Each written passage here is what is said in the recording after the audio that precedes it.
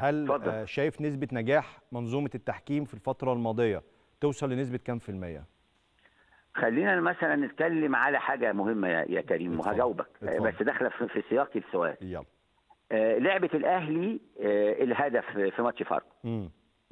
تمام آه، حوالي آه، أو معظم المحللين قالوا إنه هدف سليم إلا واحد بس مم. اللي هو الكابتن ياسر عبد الرؤوف. لكن كل المحللين وحللوا الحالة.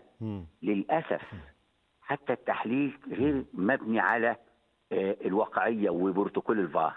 ده اللي جنني. الوحيد اللي حلل آه، ببروتوكول الفار هو الكابتن ياسر عبد الرؤوف. تسألني تقول لي اشمعنى؟ أقول لك لأنه الوحيد اللي واخد رخصة رخصة آه، محاضر فار.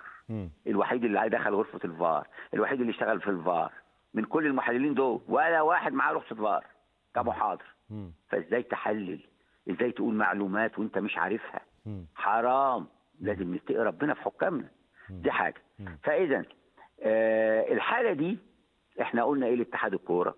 قلنا نجيب اللي حصل في غرفة الفار. وده يا كريم مسجل صوت وصورة. عظيم. صوت وصورة. مم. جبنا الحالة لقينا إن الكابتن محمود عاشور لم يخطئ. مم. وإن قراره إن النقاط اللي هو وضعها سليمة فيها من 100% وبعد كده التقنية اللي بتقول تسلل ولا مش تسلل.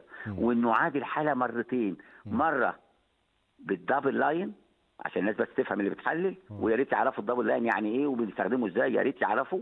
ومرة آه، بال triangulation. اللي هي ال- ال- اللي بيكون فيها أكثر دقة. في المرتين طلع الهدف تسلل. كان نفسي إن إحنا نطلع هذا الشريط هذا ال- الكليب هذا الفيديو. على موقع الاتحاد للرأي العام. ليه؟ لأن ال- الانسان لما يجوا يعدموه بيقول بيقولوا نفسك في إيه. فعلى الأقل لو هو مظلوم نشوف مظلوم ولا لأ. فمحمود عاشور كان قراره صحيح 100% والهدف تسلل. ولذلك محمود عاشور على مسؤوليته الشخصية فقط حكم اليوم حكم مس- مباراة اليوم. تاني يا كابتن عصام أنت بتقولي على مسؤوليتك الشخصية فقط الكابتن محمود عاشور كان في آه مباراه طبعا لأن أنا بيراميدز وغزل المحله اليوم أنا عينته وأنا رئيس لجنه الحكام لأن أنا الرئيس المسؤول إنه يجيب له حقه. طب هل كان في رفض من اتحاد الكورة على تعيين الكابتن محمود عاشور النهارده؟ ممكن يكون كان في آه، آه، آه، تحفظ من اتحاد الكورة. أنا بكلمك بكل مصداقية بقى أنا خارج القصة بالظبط. ما. أدام حضرتك قلت على مسؤوليتي يبقى كان في تحفظ. ما على مسؤوليتي أنا ليه بقول على مسؤوليتي؟ أنا ببعد المسؤوليه عن اتحاد الكورة.